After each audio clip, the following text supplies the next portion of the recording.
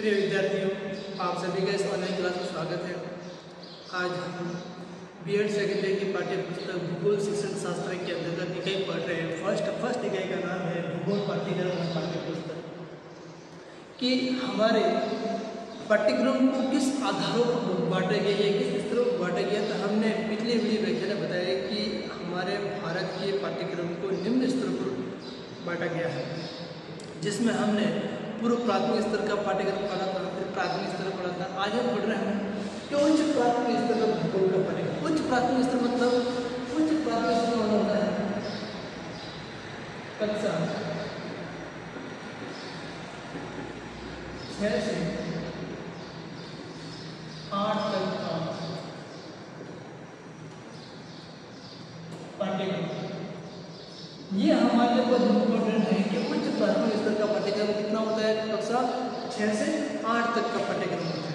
तो उच्च प्राथमिक ये आपको सब हम पढ़ रहे हैं कि उच्च प्राथमिक स्तर के अंतर्गत कक्षा छः से आठ तक का पाठ्यक्रम, क्रम के अंतर्गत बालक आते हैं। जिसमें या जिसकी औसत आयु लगभग बारह से पंद्रह वर्ष तक होती है। इनकी औसत आयु होती है। इनकी बालकों की। बालकों की औसत आयु है बारह से पंद्रह वर्ष होती है। बालकों की औसत आयु कितनी होती है बारह से पंद्रह वर्ष होती है। इसके अंदर उच्च प्राथमिक स्तर इस अवस्था को पूर्व प्राप्त होता है अवस्था इसी का मतलब इस अवस्था को कहते हैं पूर्व किशोर अवस्था भी कहते हैं पूर्व किशोर अवस्था भी कहा जाता है क्योंकि इसमें बालक के शारीरिक और मानसिक विकास तीव्र गति से बालक का? बालक का मानसिक एवं नहीं बालक का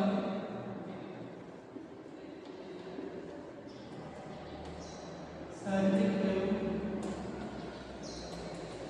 मानसिक विकास तीव्र गति से होता है कैसा होता है का एवं मानसिक विकास होती गति से होता है कौन सी अवस्था में बारह से पंद्रह वर्ष की अवस्था इस अवस्था में अगर बालक किसी भी अध्यापक के द्वारा किसी प्रकरण के बारे में समझाया जाता है, पढ़ाया जाता है तो बालक जल्दी है? कैचअप कर लेता है। समझ जाता है, क्योंकि बालक कौन सी है? पूर्व किशोर अवस्था, इस अवस्था में बालक कभी भूलता नहीं है इस स्तर पर भूगोल का पाठ्यक्रम किस प्रकार से होना चाहिए इसके बारे में पढ़ेंगे। तो हमारे छः से कक्षा आठ तक के अंदर बालक जो पढ़ता है तो पहले तो पढ़ता है देश के भूगोल पढ़ता है। किसका पढ़ता है? मतलब पढ़ेगा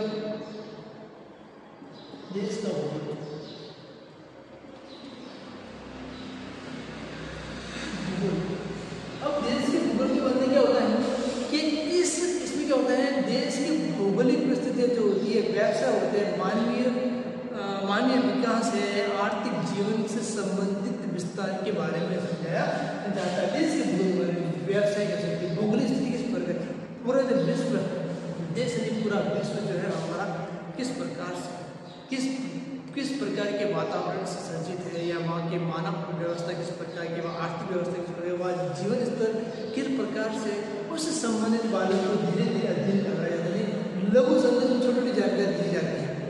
फिर आता है एशिया का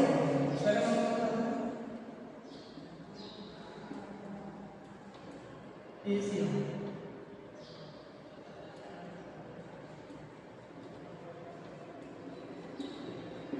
एशिया विश्व में कितने भागों बांटे गए हैं सात सात तो पहला माध्यम होता है एशिया में सबसे बड़ा माध्यम होता है एशिया तो एशिया का।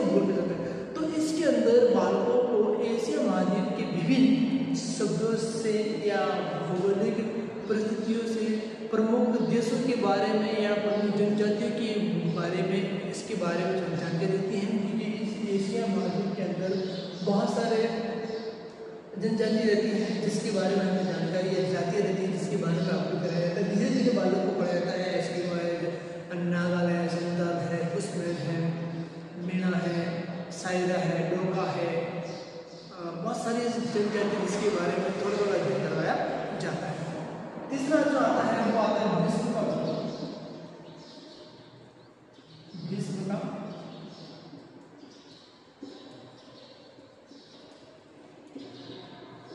विश्व का भूगोल का होता है कि इसके अंदर क्या होता है कि मानव की भूगोलिक संबंधित है मानव के अंतर संबंधों के बारे में है विश्व की प्रमुख समस्याओं के बारे में है यातायात है खनिज है मतलब अंतरराष्ट्रीय अंतर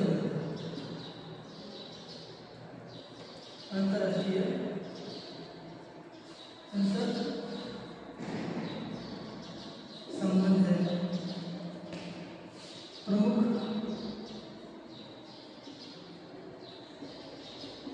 जनजातियाँ हैं प्रमुख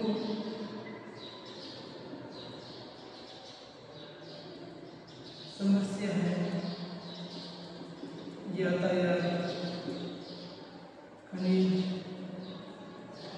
के बारे में पूरे विश्व के अंदर इस प्रकार के बारे में बताया गया है खनिज है, पदार्थ है, के बारे में जानकारी दी जाती है, जिससे बालक विश्व सभी प्रकार के भूगोल के बारे में पढ़ सकता है विश्व भूगोल के बारे में किसका वर्णन है, या एशियन भूगोल किसका वर्णन है, या का भूगोल किसका वर्णन है तो हम जो पढ़ते हैं, उसके बारे में जानकारी होना बहुत ही ज़रूरी है। फोर्थ नंबर जो आता है, वो है हमारा का भूगोल मालूम पड़ता है कि मानचित्र भूगोल जिस जिस जगह के बारे में, जिस देश के बारे में पढ़ते तो उसका मानचित्र बनाया जाता है। और मानचित्र के आधार पर मानचित्र का भूगोल है, मानचित्र का करना मानचित्र का प्रयोग करना मानचित्र का प्रयोग करना तो मानचित्र का प्रयोग कैसे किया जाता है कि मानचित्रों को हमेशा देश की चार दिशाओं में बांटा है उत्तर दक्षिण पूर्व पश्चिम की धारा बढ़ाता है कि कौन सा अक्षांश किस देश के अंतर्गत आता है? तो अक्षांश और देशांतर रेखाओं का वर्णन है, वो मानचित्र के माध्यम से बनाया जाता है कि कौन सा देश कितनी डिग्री अक्षांश पर स्थित है या कितनी डिग्री अक्षांश पर देशांतर रेखा पर स्थित है।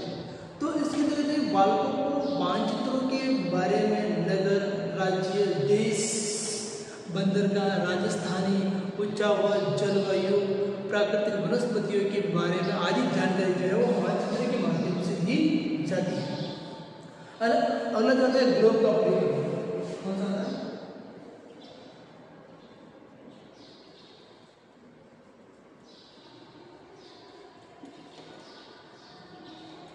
का का मतलब बालक को पूरे का का घनत्व क्षेत्र पर बहुत ही अधिक है। तो बालों को छोटा रूप तैयार करके उसको ग्लोब के माध्यम से इसके अंदर दिन रात का कैसा होता है, या समय परिवर्तन कैसा होता है, ऋतु चक्र कैसा होता है, चक्रवात कैसे आते हैं, पवने कैसी आती है वायुदा की जो बेटी है, इनका अंतर किस प्रकार से होता है, वो सभी जो है ग्लोब के माध्यम से दी जाती है ग्लोब के अंदर क्या होता है दिन रात का होना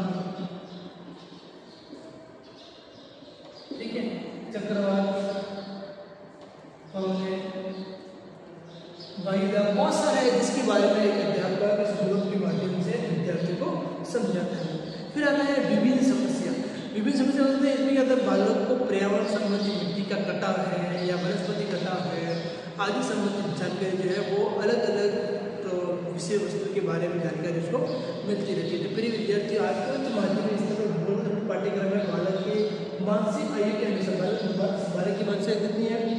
बारह से पंद्रह। तो उसको धीरे धीरे उन विषयों के बारे में जानकारी अवगत कराना उच्च माध्यमिक स्तर पर इस प्रकार का पाठ्यक्रम होना चाहिए। तो प्रिय विद्यार्थी, आज के लिए इतना ही।